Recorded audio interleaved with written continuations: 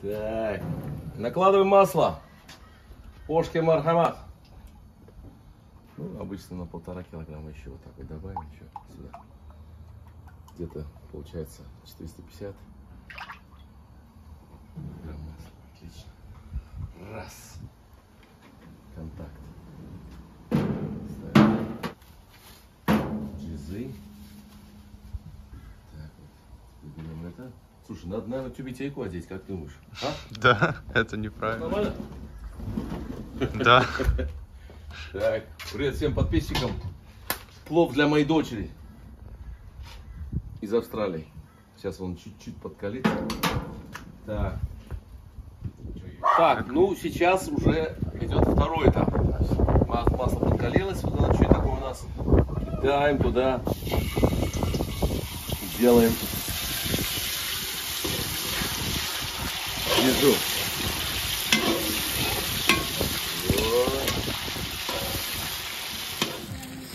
О, о, вот сейчас у нас появляется хороший цвет. Ну, к нему, конечно, нужно еще лепешечку соли, ну и соответствующее сопровождение. О, красавчик. Ну, а теперь берем нашу любимую австралийскую баранину и по чуть-чуть вот так вот ее самый раскаленный огонь, чтобы сильный огонь был.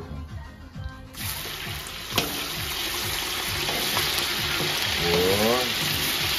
Надо, чтобы она только схватилась.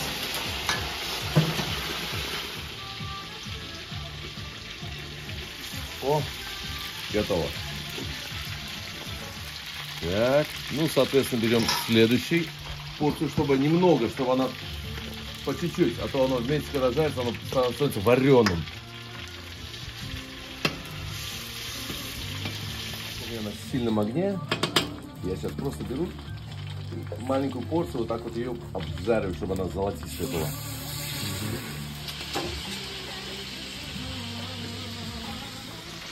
Вот, сейчас оно так вот обжарилось, вот такой красивый кусочек получился.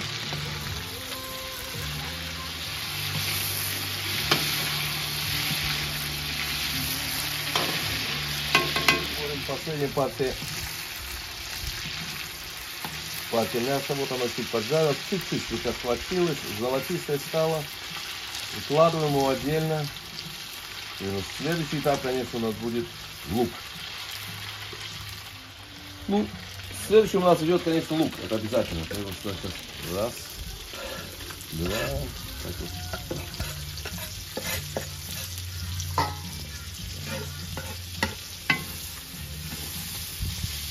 Тоже он на большом огне хорошо так схватится. Его нужно помешивать все время.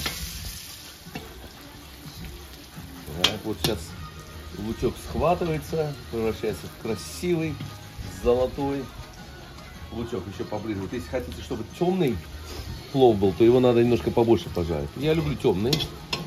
Теща у меня любит светлый. Так что мы посередине сделаем. Чтобы все были счастливы. И теща, и жена.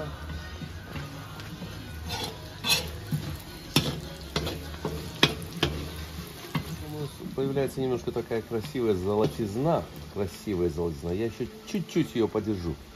Так, ну вот смотрим, видите, уже такое красивая золотизна, уже красивая такая золотизна. Следующий этап у нас будет, конечно, это морковочка. Вот смотрите, как мы порезали морковку красиво сегодня. Я сегодня делаю плов на полтора килограмма. По полтора. Ну, четыре луковицы. Больше лука не надо. Полтора килограмма морковочки. И вот теперь ждем, когда морковочка обжарится. Так, ну вот сейчас у нас морковочка, она еще немножко жестковатая. Вот, когда она будет немножко такая а, мягкая, тогда обратно кидаем мясо.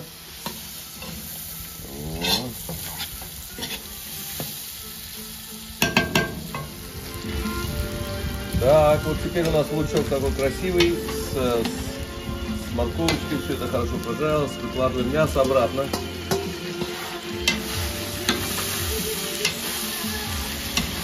У нас красивый зервачок получается. Какой же плов без жиры? Это вообще не плов. Жира. Очень. Какой жира. Так вот добро ее, не жалея, положил. Я люблю, когда она с мясом еще жира поджаривается, она вкусно очень. Ну потом, конечно, еще в рис положим. Ой, ой. Сейчас немножко э, импровизационный момент. Обычно мы кладем лук таким целиком, но мне научили, если положишь маленькими зубками, он растворится и даст весь эффект в зервачок. Ну попробуем. Очень вкусно.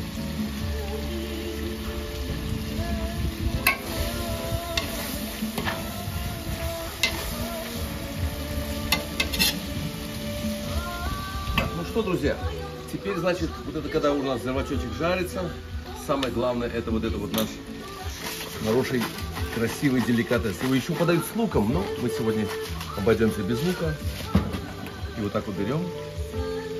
Для паров это одна из любимых блюд. И вот так вот берем и кушаем.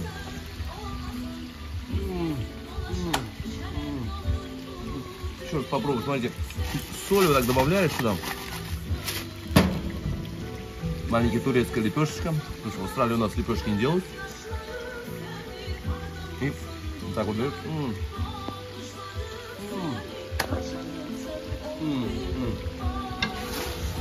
Вот теперь, друзья, здесь этот рецепт я также называю юсуп плов.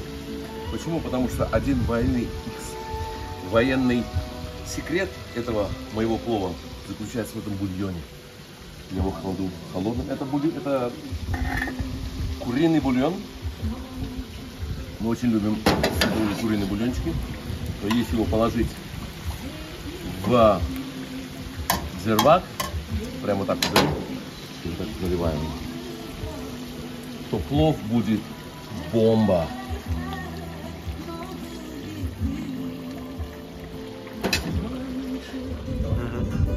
Ну, следующий этап, конечно, это соль.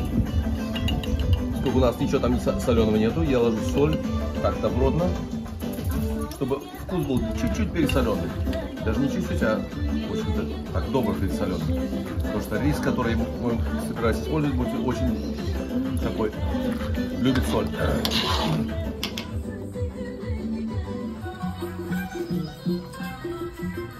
Так, вот это самый лучший рис для плова, который когда-либо я использую. Потрясающий. Мы сейчас отмеряем полтора килограмма, потому что я на полтора килограмма готовлю.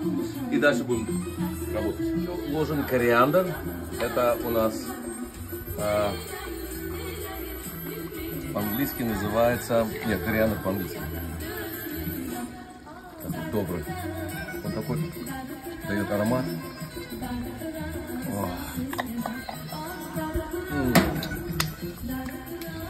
Так, ну этот рис я заливаю водой, так, чтобы сверху было,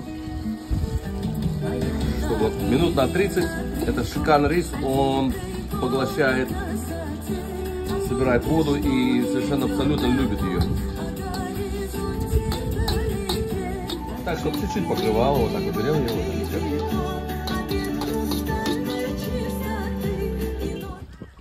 так, ну один из главных ингредиентов, это, конечно, а, кишмиш. И вот так добро ложим сюда, вот так, чтобы у него было хорошее это. Он дает такой специфический вкус. Следующий этап. Ну, теперь можно уже заканчивать. Рис. Я его, конечно, промыл предварительно. И вот так берем и просто закладываем. И разравниваем. Ну, теперь надо опять добавить немножко воды, потому что этот рис очень любит воду. Заложили вот так вот, выравниваем. Поэтому я этот рецепт называю юсуп плов.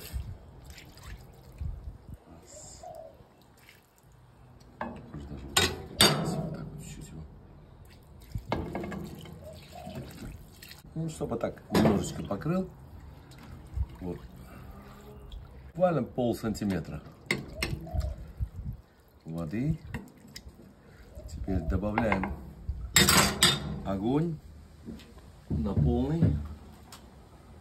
Вставляем себе это все.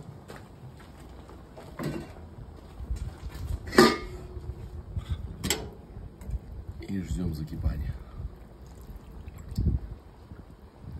Он сейчас выровнялся.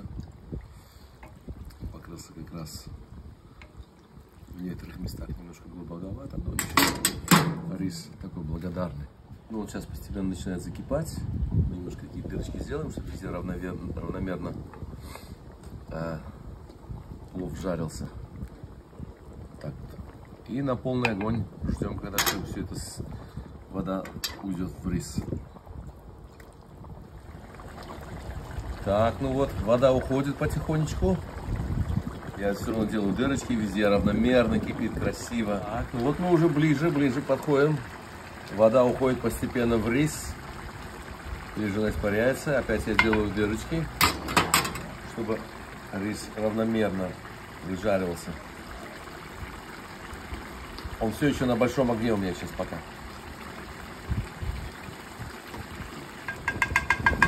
Так, ну вот сейчас мы видим, что вода практически уже уходит. И вот на этом этапе я начинаю потихонечку уменьшать огонь.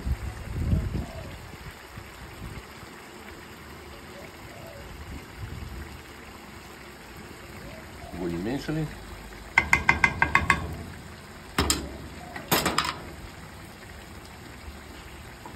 Мгм.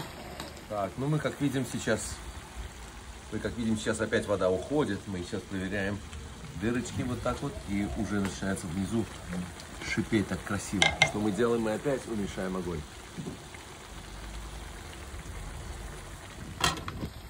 Вот сейчас самый главный этап получается.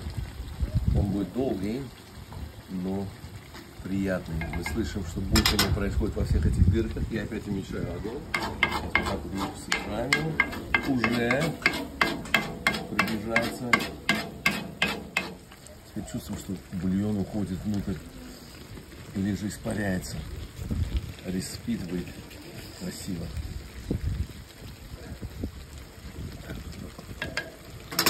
Это мы сейчас размазываем, там еще, еще вода.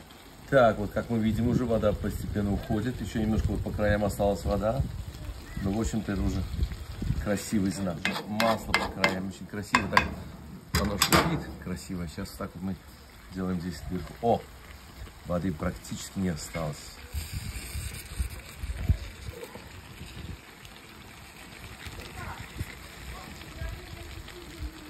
Так, вот здесь остановились.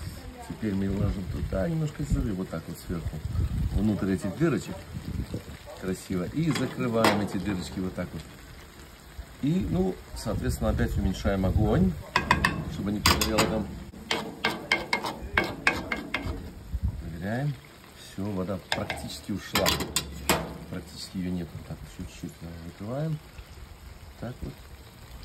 Закрываем. И вот так вот мы его как бы чуть-чуть мешаем. То есть верхний слой переворачиваем. Ровно на 15 минут закрываем. Ну все, 15 минут. 15 минут прошло, сейчас посмотрим, где же он. А. Ой-ой-ой-ой-ой. Ай-яй. А запах какой. О. Красавчик Пол получился. Так, садись все, накладываем теперь. Ну ладно, давай. Готов? Давай, сейчас накладываем плов. Ну все, готов к столу.